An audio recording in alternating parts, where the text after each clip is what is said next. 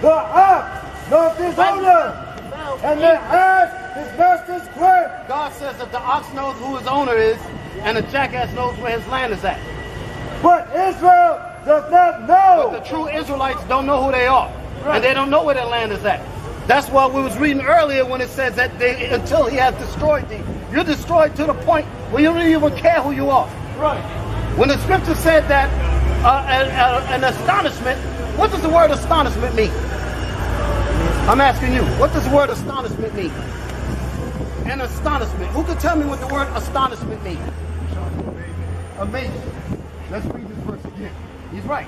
Um, amazingly it's unbelievable.